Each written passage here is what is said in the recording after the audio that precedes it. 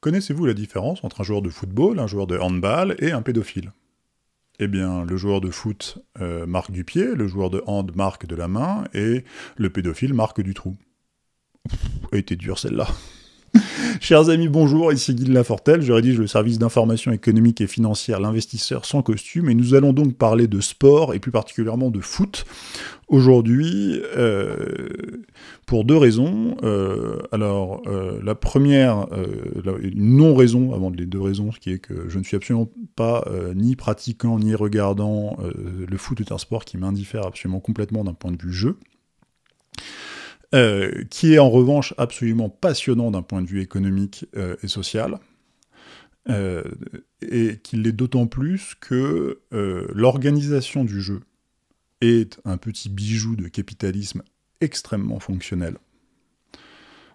avec ses défauts et ses dysfonctionnements et sa corruption, ça, mais qui, en tant que miroir euh, du capitalisme au sein de nos sociétés euh, a, toute sa place, qui en revanche euh, prend un essor extraordinaire depuis quelques décennies, quelques années, à cause de l'essoufflement de ce même capitalisme, très bizarrement. Et euh, cette espèce de clair-obscur euh, de, transition de période, parce qu'on est éventuellement euh, en train de sortir de, la grande période capitaliste qui est lentement née entre le XVIe et le XVIIIe siècle et qui a accéléré au XIXe et au XXe. On est éventuellement en train de sortir de cette période. et donc on a ce clair-obscur très bizarre, qui, ça vaut le coup de s'y arrêter.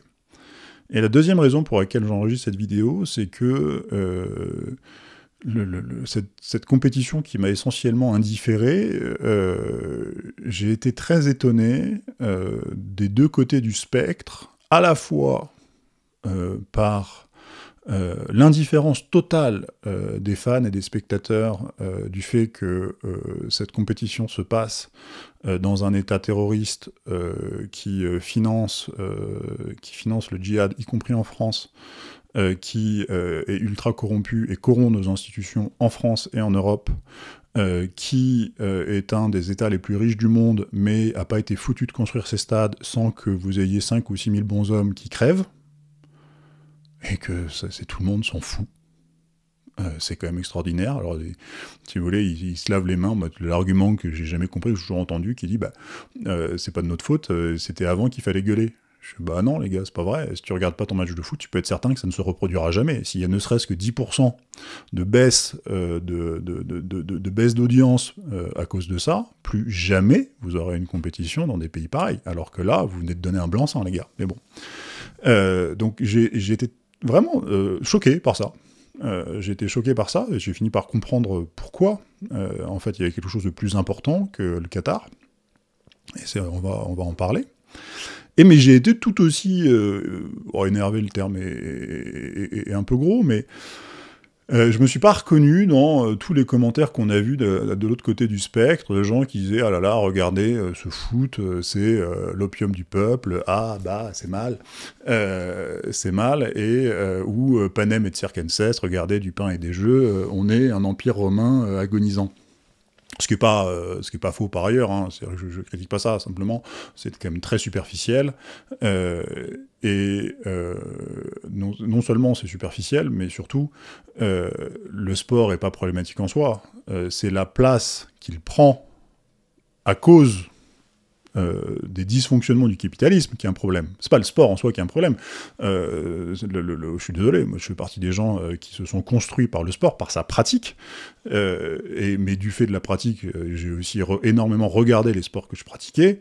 alors il se trouve que c'est vrai qu'aujourd'hui je regarde absolument plus ça, mais je connais le nombre de gens de très grande valeur que je connais qui sont des fans absolus de sport. Euh, on peut pas comme ça euh, balayer euh, d'un revers de la main le fait de regarder un match de foot sur un écran comme étant quelque chose de décadent. C'est pas possible, quoi. Et donc ça, ça m'a un petit peu agacé. et donc, et donc, on va regarder un petit peu tout ça. Euh, on va regarder un petit peu tout ça, euh, euh, notamment parce que ça, éclaire un peu aussi, de manière assez étonnante, sur les cycles économiques. et sur la transition en cours dans laquelle on est entre des cycles capitalistes et des cycles soviétiques. Et d'une certaine manière, ce genre de grands événements, comme une Coupe du Monde, sont des événements qui participent d'une cyclicité euh, soviétique. Donc c'est les trois choses qu'on va regarder aujourd'hui. Un, euh, l'organisation du jeu. Euh, quand je parle de l'organisation, pardon, c'est l'organisation en club, la, manière dont, est organisé ce jeu et comment il s'est développé. deuxièmement, donc, cette place qui prend aujourd'hui, qui est très importante. Et troisièmement, ce que ça dit sur les cycles. Euh, donc comme d'habitude, euh, n'hésitez pas à commenter cette vidéo, mettez-lui des pouces bleus, partagez. Et à tous les gens euh, qui s'y connaissent très bien dans le foot, et pour qui je vais sûrement raconter quelques horreurs, parce qu'encore une fois, c'est un sport qui m'indiffère radicalement, d'un point de vue jeu. Ben, je vous prie de m'en excuser d'avance, hein, ce n'est pas une fierté particulière, et surtout n'hésitez pas à me corriger en commentaire. Euh, donc la première chose, euh, quand on regarde euh, le, foot, vous avez, alors c'est un, livre que, j'ai pas mal, ouais, on va, on va en parler un peu. Donc vous avez un, ouvrage de deux auteurs britanniques qui s'appelle Soccernomics, sur donc justement l'économie du football. Euh, qui euh, raconte des choses très intéressantes, pas mal de bêtises aussi. Euh, c'est-à-dire qu'ils ont écrit leur, leur, bouquin il y a une quinzaine d'années, et il y a une quinzaine d'années, oui c'est ça, ils prévoyaient que l'Europe, qui était ultra dominante sur le plan footballistique, allait perdre un peu de sa dominance. et c'est absolument pas ce qui s'est passé. Donc, mais ils font ce lien très intéressant, qui est de se dire, bah, euh, le football est un sport essentiellement européen, avec euh, les bizarreries euh, en Amérique du Sud, principalement de l'Argentine et du Brésil. bon, on va pas, on va pas, je vais pas m'arrêter dessus ce soir, j'ai autre chose à faire, mais c'est un sport européen qui, qui voit cette, cette, très grande domination européenne parce que vous avez les mêmes recettes euh, que ce qui a permis euh, la révolution capitaliste en Europe, euh, c'est-à-dire une région densément peuplée, dans laquelle, à la fois une région densément peuplée avec des États indépendants, et dans lequel vous avez à la fois une circulation des informations, une circulation du savoir, et euh, et une concurrence à partir de ce savoir-là. C'est-à-dire que vous avez deux ingrédients qui fait que bah, si, euh, que si vous voulez progresser, vous le pourrez parce que vous avez un savoir qui circule assez facilement. Euh, et si, euh, en revanche, euh, vous, vous, endormez un peu trop vite sur vos lauriers, ben, vous serez très très vite mis en concurrence par d'autres clubs, et, qui est d'une certaine manière un peu la base du, capitalisme européen. alors, on pourrait gloser dessus pendant très longtemps, mais c'est les, les, deux auteurs, pardon, j'ai oublié leur nom immédiatement, je vous mettrai ça en commentaire. Euh, c'est assez intéressant de, faire cette comparaison euh, entre euh, la, révolution au XVIe siècle du savoir et de la connaissance qui va donner naissance à la grande révolution capitaliste et, l'émergence du foot comme une, forme de, ritualisation de cette société. et effectivement, quand on, quand on, regarde un petit peu, bah, vous avez énormément de clubs, qui sont en concurrence les uns avec les autres au sein euh, de chaque pays. Vous avez euh, des compétitions qui sont en concurrence entre elles, euh, entre chaque pays, et vous avez comme ça les, les, joueurs qui circulent et qui vont chez le meilleur. Vous avez un rapport à l'argent qui est quand même assez proche du monde réel, c'est-à-dire que si vous avez beaucoup d'argent, vous pourrez faire des choses, mais ce n'est pas tout. C'est-à-dire qu'il ne, suffit pas de ça. Euh, vous pouvez avoir des tout petits pays comme la Croatie qui s'en sortent très bien. Euh, à l'inverse, vous pouvez avoir euh, des très grands pays de foot comme le Royaume-Uni qui n'arrivent pas depuis 50 ans à gagner une Coupe du Monde et qui n'arrivent pas même à, avoir des, positions intéressantes dans, cette compétition. Et donc, vous avez une représentation qui est extrêmement efficace du monde capitaliste, euh, et qui du coup est très, est très utile parce que c'est, vous avez là une forme de ritualisation et vous avez là, vous pouvez euh, soit euh, en tant que jeune joueur, soit en tant que même euh, euh, euh, vous, pouvez avoir là, c'est un peu le, bac à sable, c'est-à-dire qu'on peut s'entraîner, vous avez, c'est vraiment, c'est très important de pouvoir ritualiser le monde dans lequel on vit et de pouvoir avoir ce petit côté bac à sable où on, fait comme si, en faisant un pas de côté, c'est très utile pour la, vie pour la vie réelle. Et ça, de ce point de vue-là, pourquoi est-ce que, par exemple, vous avez, à mon avis en tout cas, pourquoi est-ce que le foot euh, a pris euh, cette prédominance par rapport au rugby en Europe, par exemple, euh, à mon avis, c'est parce que vous avez, ça, colle beaucoup plus, ça colle beaucoup plus près des, ça colle beaucoup plus près du monde capitaliste dans lequel on est, qui donne notamment cette place importante à l'argent, et que probablement, si on avait été euh, dans un monde beaucoup moins tourné vers l'argent, le, rugby aurait prédominé. Parce que je rappelle que le rugby, en, France, s'est professionnalisé très tardivement, et vous avez fait rentrer de l'argent là-dedans très tardivement. Bref. Euh. Et donc, euh, vous avez ça, mais d'un autre côté, et c'est mon deuxième point, la prédominance du sport en général, du foot en particulier, vient montrer euh, à l'inverse que vous avez un essoufflement de ce modèle capitaliste, que moi j'appelle fonctionnel. Quand je dis fonctionnel, ça ne veut pas dire qu'il est, euh, qu'il a, il a pas de défaut. Euh, ça veut dire que ça apporte quand même. on ne peut pas nier que le capitalisme ait quand même apporté un peu de richesse en Europe sur les trois ou quatre derniers siècles. le, euh, je suis pas sûr que si on vous replongeait euh, dans euh, la vie du 19e ou du 18e siècle, on, ne mette pas un peu de temps avant de s'y réadapter. Bref. Et paradoxalement, cette organisation ultra-capitaliste, dans le bon et le mauvais sens du terme, donc donne cette prédominance parce que on est dans un univers qui est en train de ne plus l'être, qui est en train de se soviétiser. Pourquoi je dis ça euh, Parce que justement, ça c'est un, deuxième argument extrêmement intéressant et à mon avis juste dans ce bouquin Soccernomics, qui est de dire qu'en fait le foot, et je pense que plus généralement le sport, euh, c'est une activité euh, de pauvres dans des pays riches.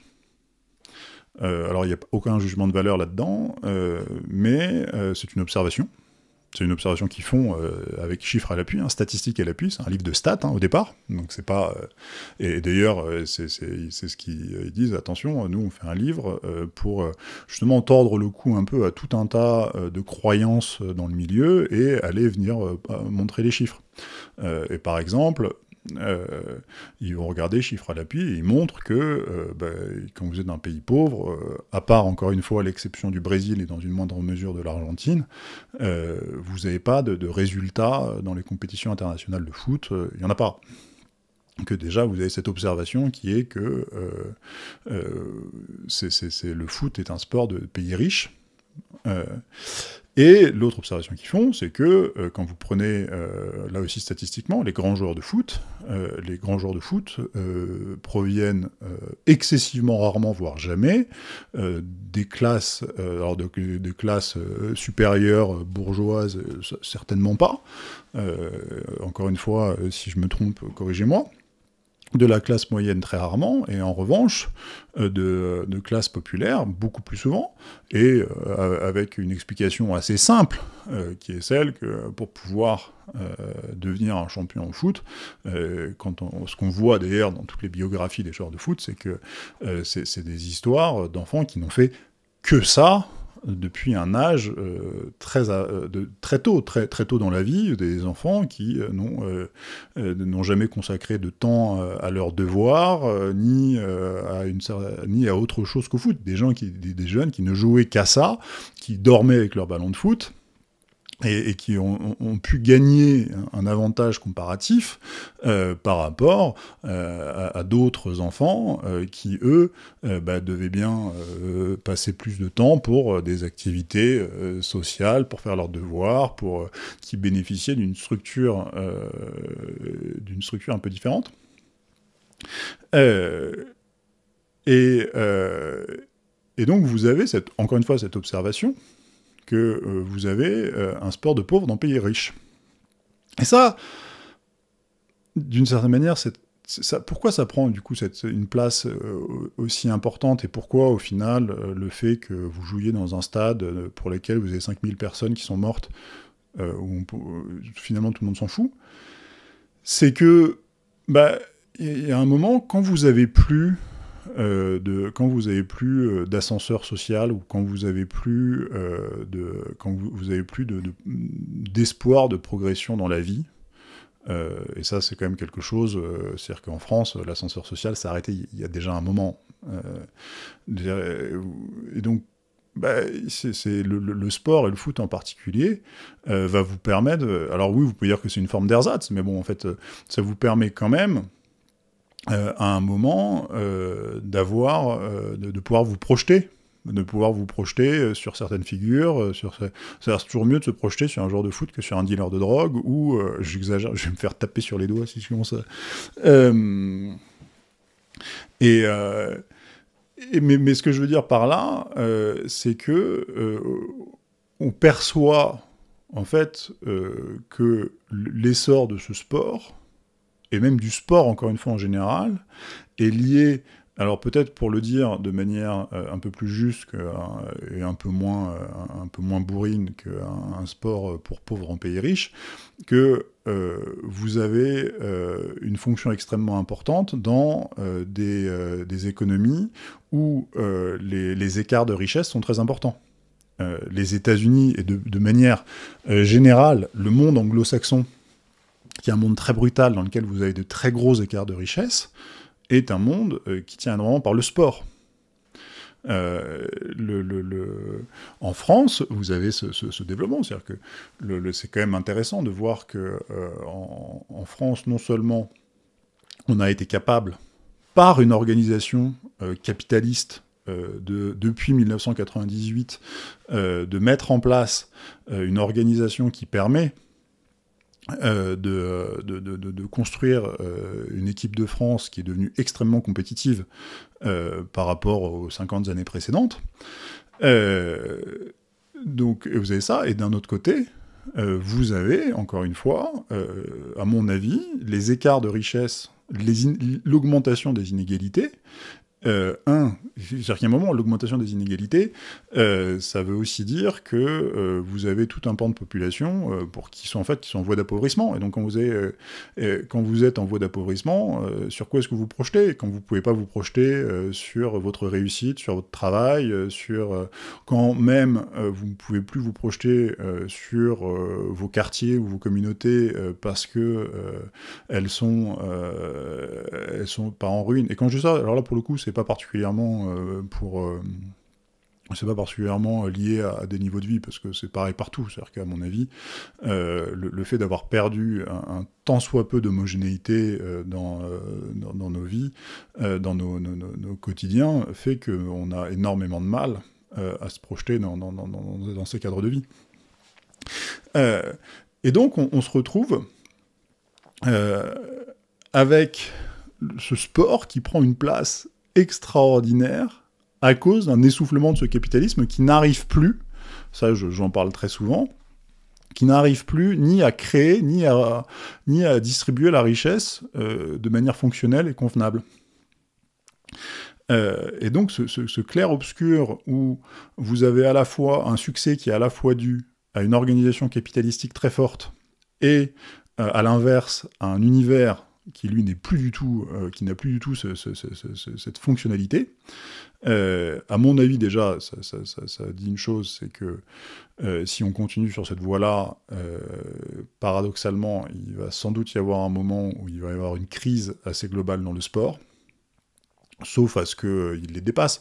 C'est-à-dire que c'est assez intéressant. C'est-à-dire quand, je vous dis que euh, vous avez une organisation euh, capitalistique euh, dans le foot qui est extrêmement puissante. c'est que donc, si vous prenez les, montants des transferts des joueurs et les règles de fair play financier qui ont été édictées depuis quelques années, qui sont totalement dysfonctionnelles. Hein. Il me semble que c'est au moment du transfert de Neymar au PSG où on a vu que les règles de fair play financier, on, s'en foutait complètement. mais ça c'est une des composantes du capitalisme de, qu'on soit content ou pas. C'est-à-dire que là, je ne porte pas jugement moral, mais c'est de se dire, bah, c'est un petit peu comme le marché du pétrole, euh, vous pouvez euh, édicter toutes les lois que vous voulez, euh, il y a un moment, la réalité reprendra le dessus. Et que dans un monde capitaliste, la réalité économique prend le dessus sur le législateur. Et encore une fois, pour le meilleur et pour le pire. C'est comme ça.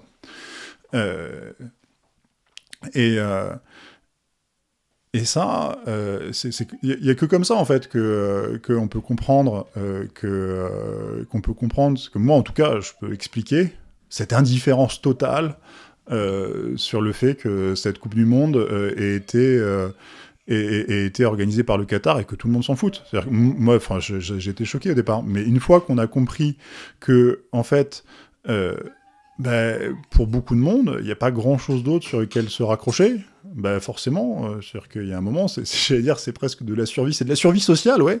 C'est de la survie sociale, et du coup, il euh, faut, faut, faut faire très attention. Euh, faut faire très attention à pas vouloir couper ça trop vite. C'est-à-dire qu'on peut pas couper ça s'il n'y a pas autre chose à la place. Donc tous les gens euh, qui viennent vous dire Panem et Circenses, oui d'accord, mais sans ça, je sais pas si on serait tellement mieux. Euh, et c'est et du coup et on a du coup la même euh, on peut regarder ça en, miroir. Pourquoi est-ce que euh, on peut plus aujourd'hui avoir des présidents qui sont pas des, des, fans de foot officiels euh, depuis Chirac, depuis Chirac, vous avez plus, Chirac, Hollande, alors Sarko, je sais pas, Sarko, je sais pas, euh, Macron, euh, vous avez, alors pareil, je sais pas si c'est un vrai fan de foot ou s'il fait seulement semblant, mais dans tous les cas, il peut pas se permettre de pas être un fan de foot parce que encore une fois c'est la dernière projection que peut avoir un peuple avec son dirigeant c'est-à-dire que c'est la dernière manière d'avoir une forme de, d'avoir une forme de lien. Parce que sinon, c'est-à-dire qu'un Emmanuel Macron, euh, par rapport à l'immense majorité de la population, c'est un étranger total. Et donc, si vous n'avez pas ça, euh, si vous n'avez pas ça, c'est foutu, quoi. Donc, euh, ça, c'était donc mes, mes, deux premiers points, donc sur ce, côté très bizarre d'avoir un, jeu ultra capitaliste dans un monde qui ne l'est plus, euh, et qui du coup prend cette place un peu monstrueuse, euh, et de manière générale, c'est-à-dire qu'on peut, on peut, on peut élargir ça au divertissement. Euh, le, divertissement vient prendre la place du travail. Mais à mon avis, c'est d'abord parce qu'il n'y a pas de travail que le divertissement prend la place. C'est-à-dire que c'est pas, pas l'inverse. Et quand je dis il n'y a pas de travail, euh, si vous suivez un peu cette chaîne, euh, vous savez que je ne suis pas en train de dire qu'il n'y a plus de boulot en France, euh, je suis en train de dire qu'on a tué le travail. C'est fait la même chose. et que et, ça, c'est un, de mes grands points depuis toujours. C'est-à-dire que si, aujourd'hui je voulais redresser la France, la première chose qu'il faut faire, c'est ramener du travail en France et, et, mettre les gens au boulot. et quand je dis les gens, c'est pas faire travailler les gens plus longtemps, c'est faire travailler plus de gens. Mais bref, c'est pas le sujet. Encore une fois, allez sur l'investisseur sans costume, regardez la chaîne.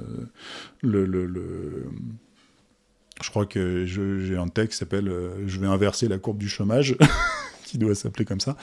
Euh, et le dernier point, qui était d'ailleurs celui pour lequel je voulais commencer par faire cette vidéo, qui est le, rapport au cycle. et ça, on connaît assez mal les cycles économiques. Euh, on les connaît assez mal dans un système capitaliste, on les connaît absolument pas du tout euh, en système soviétique. Et pourtant, euh, ce sont des choses qui sont très très bien étudiées. Alors en système capitaliste, les cycles sont liés à la création de crédits.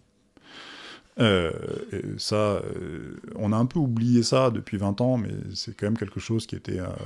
C'est-à-dire que vous avez des, phases, c'est ce qu'on appelle les cycles de juglar, le cycle des affaires, euh, donc, qui, a été observé par Clément Juglar euh, au milieu du, XIXe 19e siècle, donc ça fait longtemps qu'on sait ça, euh, qui est que dans n'importe quelle activité économique dans un milieu capitaliste, un milieu dans lequel vous avez du crédit, vous allez toujours, vous allez toujours avoir des phases d'expansion qui vont être liées à des phases d'augmentation du crédit, et vous allez avoir des crises et des phases de liquidation, chose que l'on ne connaît plus vraiment, qu'on a connu aux États-Unis en 2001 et après, mais que on, ne connaît plus vraiment en Europe. On n'a plus des phases de, on n'a plus de phase de liquidation en Europe depuis très longtemps, depuis trop longtemps. Euh, qui sont liés euh, ben, euh, au moment où le crédit s'en va.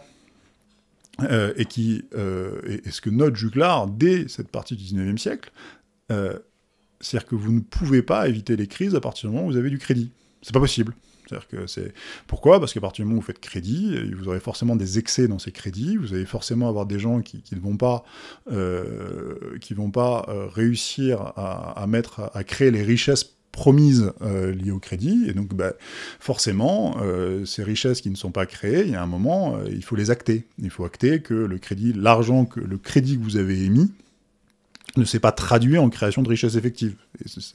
Et, donc ça, c'est les phases de liquidation. Donc déjà, il y a des phases de crise au moment où on se rend compte que en fait rien ne va plus, qu'il faut passer en nettoyage. Et après, vous avez les phases de liquidation. Faut pas oublier que dans les cycles de Juglar, vous avez trois phases les phases d'expansion, phases de crise et les phases de liquidation. Mais je, pense qu'aujourd'hui, la plupart des gens ont même oublié qu'il y a des phases de liquidation euh, dans, dans, un, cycle économique normal, et qu'on a très bien en tête des phases de crise, de crack, assez rapides, mais des phases de liquidation dans lesquelles on va aller nettoyer en profondeur euh, les, structures économiques euh, de tout ce qui est défaillant, de tout sur lequel on a parié en, émettant du crédit et qui n'ont pas retourné de richesse, on a totalement oublié ça.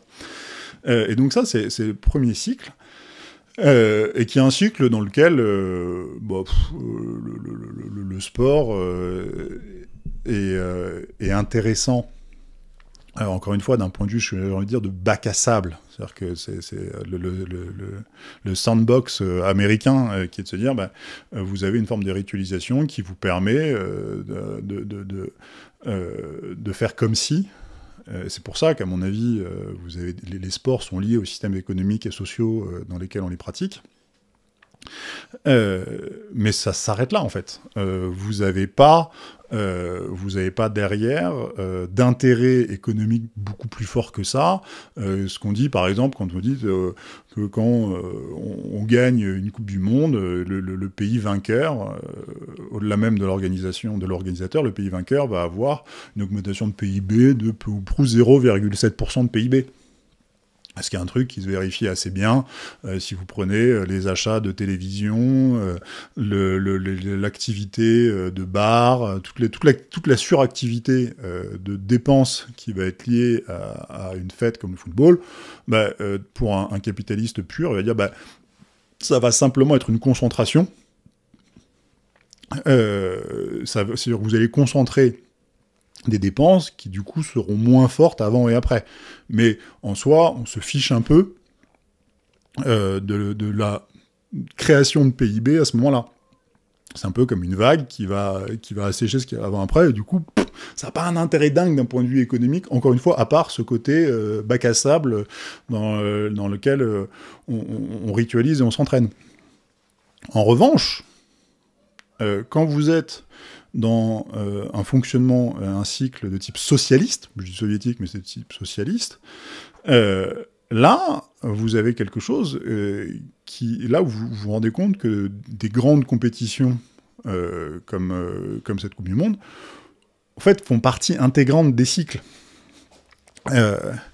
Et ça, et ça c'est, fait partie des choses. Très peu de gens euh, comprennent euh, le fonctionnement d'un cycle socialiste. Déjà, on, attend, le, socialisme prétend abolir les cycles, mais c'est faux. C'est pas vrai. Euh, les socialistes, les, économies socialistes sont cycliques elles aussi, bah, parce que tout est cyclique dans ce bas monde, pour commencer.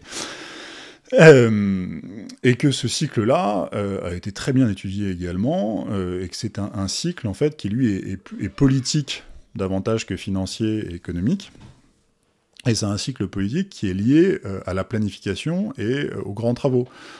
On a très très bien étudié la cyclicité euh, sous l'URSS, où euh, vous aviez euh, toujours les débuts de plan, où on se lançait dans des politiques de grands travaux, où on allait tout d'un coup électrifier tout le pays, où on avait comme ça des grands... C'est le, premier plan qui a été, mais qui, a été carrément supervisé par Lénine lui-même, et le premier plan quinquennal, le Goelro, qui est un peu le, le, le plan qui derrière a euh, a ensuite infusé euh, dans, tout le socialisme mondial. Euh, bah, vous avez Lénine, ça j'aime beaucoup citer cette phrase parce qu'elle est assez actuelle aujourd'hui, Lénine qui dit l'URSS c'est le gouvernement des soviets et l'électrification du pays. Et donc vous avez une forme de gouvernance et un, objectif économique, disant bah, maintenant on, va aller, on, va aller électrifier le pays indépendamment euh, des besoins réels et euh, différents d'une région à l'autre euh, et de, différentes personnes qui peuvent vivre en URSS. C'est-à-dire que sur, sur la foi de cette petite phrase, et, tout le plan Goelro, on a été euh, construire des centrales et des barrages, notamment des barrages, euh, dans des endroits totalement paumés, dans lesquels il n'y avait personne pour consommer l'électricité euh, qui était produite, où aujourd'hui vous retrouvez encore mais des, années, des, dizaines et des dizaines d'années après, vous vous retrouvez avec des grosses usines métallurgiques ou des trucs qui consomment énormément d'énergie, pourquoi? Parce qu'au départ, on a construit euh, des, centrales pas possibles parce qu'on pouvait assez facilement euh, euh, créer de l'électricité, sans se rendre compte que ce n'était pas du tout là dont on avait besoin, et donc finalement, on a, on a été foutre les, les, industries là-bas. Bon, alors finalement, on retombe sur, sur, ses pattes, et que peut-être qu'on aurait été mettre les industries là-bas de toute manière, mais ça a été fait un peu à l'envers, cette affaire-là. Et vous avez ce cycle, donc où vous avez tout d'un coup des grands plans, on va aller électrifier tout ça, euh, où euh, donc tout le monde se lance, on se met au boulot, tout le monde est motivé, et puis euh, au bout de quelques temps, quelques années, finalement on commence à se rendre compte que ça marche pas du tout, que bah, en fait quand vous avez 10 personnes dans un bureau qui vous ont dit ce que vous deviez faire, généralement et même tout le temps, ça marche pas. ça marche pas, et que je prends aussi très régulièrement euh, ces, problèmes qu'on avait en, URSS, qui était que vous aviez des, usines de chaussures euh, qui vous fabriquaient des millions et des millions de chaussures euh, en taille 32. parce que les objectifs du plan étaient en nombre de chaussures et que pour y arriver, ils faisaient les chaussures les plus petites possibles pour économiser la matière. Euh, et qu'à l'inverse, euh, vous sortait, euh, il vous des, milliers, des, centaines de milliers de casseroles de 100 litres, ce qui ne sert pas à grand chose dans le quotidien, parce que les objectifs du plan, là, étaient en tonnes et pas en unités. Et, et, c'est-à-dire que c'est pas des petites anecdotes c'était comme ça à grande échelle et à grande ampleur. C'était comme ça que fonctionnait euh, l'URSS, de manière totalement dysfonctionnelle, radicalement dysfonctionnelle. Et on est en train de rentrer depuis longtemps déjà, et c'est en train de s'accélérer dans ce type de dysfonctionnement. Quand euh, on est en train euh, d'électrifier, pas, pas d'électrifier, quand on est en train de mettre des éoliennes partout en France, et que 20 ans plus tard, et en Allemagne avant nous, on se rend compte que ben, plus vous mettez d'éoliennes, plus vous consommez de charbon, on est dans ce genre de, de, de résolution politique radicalement dysfonctionnelle. Et donc, vous, dans ces, et, donc cette cyclicité socialiste, cette cyclicité soviétique, elle est, liée à des politiques, elle est liée à des politiques de grands travaux. Et là, vous êtes en plein dedans avec le sport, où vous avez là aussi cette cyclicité, où tout d'un coup, eh bien, vous allez avoir une Coupe du Monde. Alors, quand vous êtes un pays organisateur, là, c'est le truc qui est dingue.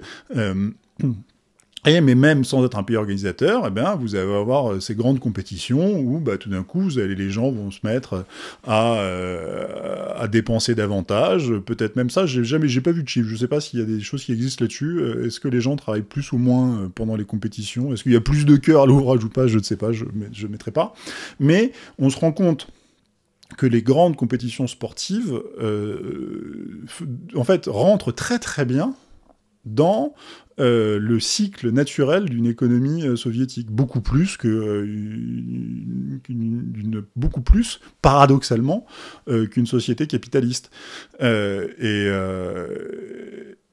c'est à mon avis, c'est-à-dire que le, fait que le, sport prennent de plus en plus de place, bah, ça montre quoi? Ça montre que, un, vous avez une augmentation radicale des inégalités et de la difficulté euh, aujourd'hui de pouvoir s'ancrer dans le réel, dans le réel d'un travail, dans le réel euh, de, relations de proximité, de, dans le... et donc euh, cette fiction vient compenser. vous connaissez moi, mon, grande, ma, grande réflexion financière, économique et même sociale, et qu'aujourd'hui, on, crève de, ne plus s'adapter à la réalité et de se, et de, se rester perché dans la fiction. Et ce qui est très paradoxal dans le sport, c'est que c'est une fiction qui est particulièrement utile euh, dans euh, cette approche de bac à sable et de formation euh, et de, manière de se former, mais qui en revanche, quand on se met à s'enfermer dans cette fiction-là, à défaut de pouvoir se raccrocher au réel, devient effectivement une forme d'ersatz. Mais c'est là où, encore une fois, je, suis assez agacé par tous les gens qui viennent vous sortir le Panem and Circenses, euh, regardez tous ces ploucs qui regardent, euh, qui regardent le foot, ou qui regardent, qui, vont, euh, qui vont s'avachir devant leur télé plutôt que d'être dans la réalité d'une création de richesse, dans la réalité d'une création de richesse sociale. C'est-à-dire qu'on vous bah, à mon avis, c'est pas tant le sport et cette fiction-là, en l'occurrence, qui est fautive, que l'absence euh, que l'absence de, richesse réelle euh, au sein de nos sociétés. Et voilà, c'était une vidéo un petit peu particulière, un petit peu bizarre, qui est un peu improvisée par rapport euh, aux autres, mais qui a qui à mon avis est intéressante parce qu'elle remet, si on regarde un peu ça de manière un peu plus près d'un point de vue économique, on voit un peu cette confrontation de modèles capitalistes et socialistes. J'espère que ça vous aura plu. Dites-moi euh, si ça vous intéresse ce genre de digression ou si vous préférez que je reste davantage sur des sujets, euh, euh, sur mes sujets. Et moi, je vous dis à votre bonne fortune.